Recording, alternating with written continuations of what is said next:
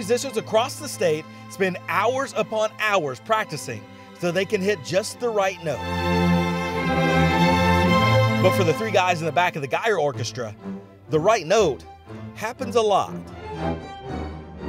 It's a really conducive environment for success to just be in a room with those two and watch them make beautiful music. It just makes me want to try even harder. I feel like none of us just want to be left behind. You know, you just try to practice and practice and get to the point to where we're all amazing and where we're like we're satisfied where, we where we are. We all have been playing for a while and uh, very dedicated. And so apparently, I guess um, it was the goal for this year for us all to make the top orchestra, and uh, we just did our best work. Their work is amazing.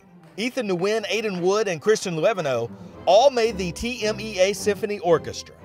Only 12 string bassists in the entire state of Texas make the symphony, so that means 25% of the best Texas has to offer in the string bass go to Guyer.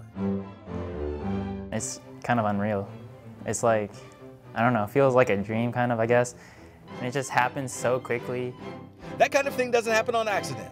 This only happens because these three are constantly pushing each other. I'm very competitive, and I, I like seeing when they start doing better than me because it happens a lot. When they start doing better than me, I start trying to compete back. They both made All-State. I was like, I don't want to be the one in the group that doesn't make All-State this year. I was like, I'm going to get good. I'm going to do it well. At least for me personally, it scares me when I see that they're making progress that I'm not making, and it definitely makes me want to perform more. That drive gives these guys the type of bond that is unbreakable and helps them produce the type of music that is unforgettable.